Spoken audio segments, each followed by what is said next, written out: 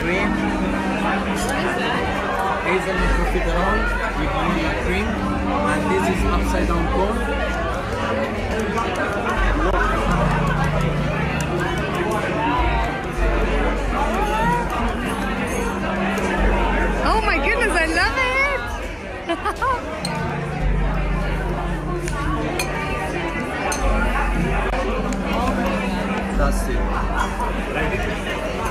Thank you, Luca!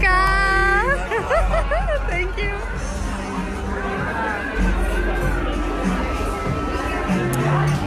Hi guys!